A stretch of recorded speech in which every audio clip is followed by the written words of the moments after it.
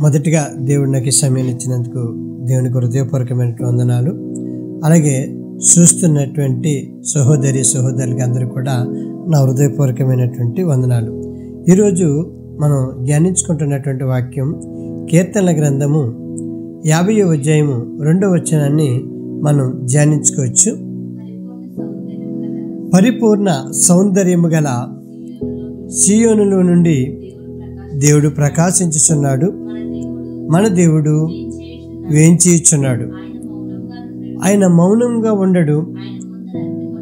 ఆయన ముందర అగ్ని మండుచున్నది. ఆయన చుట్టూ ప్రచండ వాయువు విచురుచున్నది పరిపూర్ణ సౌందర్యము గల చియోనులో నుండి దేవుడు ప్రకాశించుచున్నాడు.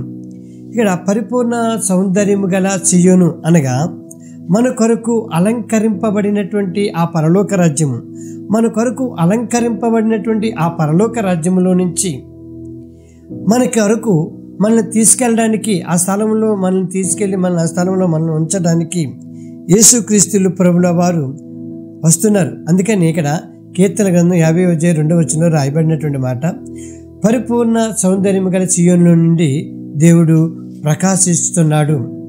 ఇక్కడ ఇంకో విషయాన్ని మనం జ్ఞాపకం చేసుకున్నప్పుడు ఆయన ప్రకాశము మన మీద ఉండాలి. ఆయన ప్రకాశం మన మీద లేనప్పుడు మనం మనకి మనం నీతిమంతులుగాను లేకపోతే ఒక గొప్పవారుగాను కనబడతాం.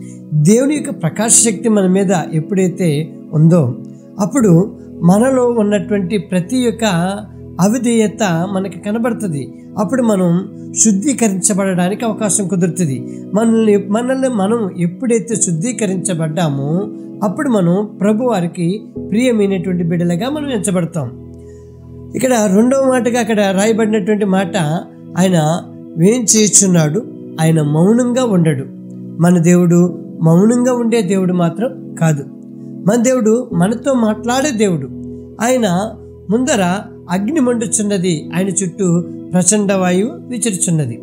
ఆయన చుట్టూ ఉన్నటువంటి ప్రచండ వాయువుని పరిశుద్ధాత్ముడిగా మనం అభివర్ణించవచ్చు ఎలాగంటే ఆ యేసుక్రీస్తు ప్రవరికి శిష్యులు మేడగది అనుభవాన్ని మనం చూస్తున్నప్పుడు ఒక బలమైనటువంటి గాలి వారిని దర్శించగా వారందరూ కూడా ఆత్మవశులై పరవశులై తిరిగి యేసుక్రీస్తు ప్రభువారు చుట్టూ ఉన్నటువంటి ఆ ప్రచండ వాయువు పరిశుద్ధాత్ముడు ఆయన ముందర అగ్ని నడుచున్నది. క్రీస్తు ప్రభువారిని కలిగినటువంటి మన జీవితంలో మేము గుడికెళ్ళి వస్తున్నామండి అని అంటే మన భక్తి పూర్తి కాలేదు కానీ నీళ్ళలో బాప్తిష్టం పొందినటువంటి మనము పరిశుద్ధాత్మలో బాప్తిష్టం పొందాలి. పరిశుద్ధాత్మలో బాప్తిష్టం పొందినటువంటి మనం అగ్ని వంటి అభిషేకము కలిగి ఆయన్ని ఎదుర్కొనాలి.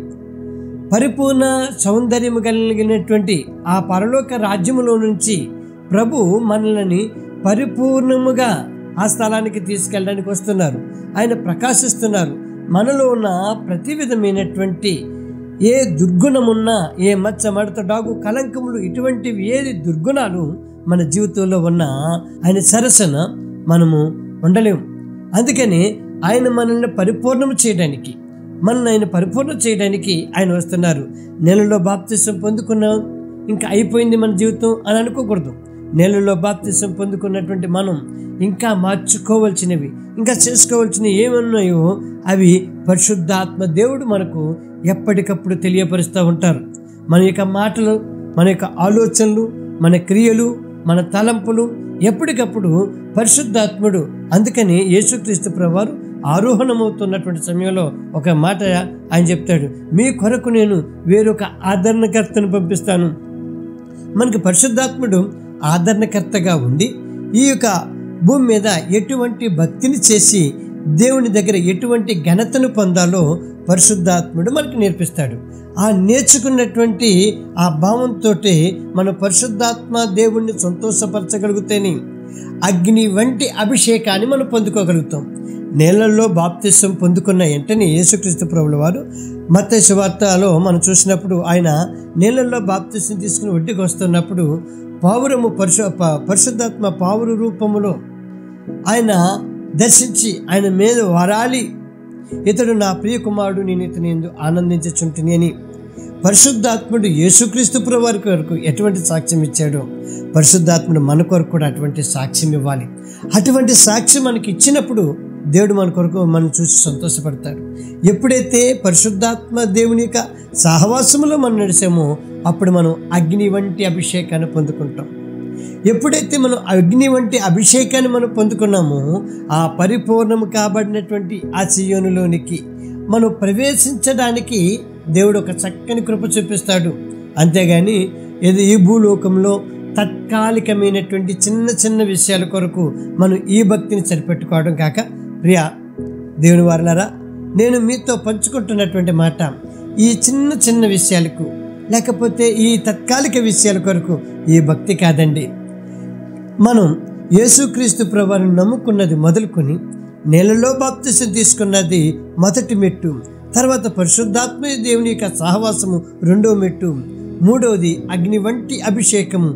ఈ మూడు అనుభవాలు కలిగి నీ దేవుణ్ణి సంతోషపరచగలిగితే నీ దేవుణ్ణి మహిమపరచగలిగితే నీ దేవుణ్ణి ఘనపరచగలిగితే నీ దేవుడు నిన్ను బట్టి సంతోషించగలడు. యేసుక్రీస్తు ప్రభుల వారి కొరకు ఆకాశ మహాకాశముల మీద ఆచీనుడైనటువంటి ఆ ప్రభు ఆకాశము తెరవబడి ఇతడు నా ప్రియకుమారుడు ఇతని ఎందు నేను ఆనందించుచుంటేనని చెప్పినటువంటి మాట నీ కొరకు వింటున్న నీ కొరకు. చెప్తున్నటువంటి నా కొరకు ఇటువంటి గొప్ప మాట మాట్లాడగలిగితే మనం దేవుని చేత ఆశ్రదించబడిన వారు అవుతాం. దేవుని చేత దీవించబడిన వారు అవుతాం. పరిశుద్ధాత్మ అభిషేకము అగ్ని వంటి అభిషేకము నువ్వు కలిగి దేవుణ్ణి పరిపూర్ణంగా సంతోషపరుస్తారని ప్రభునందు మనసారా ఆశపడుతున్నాను.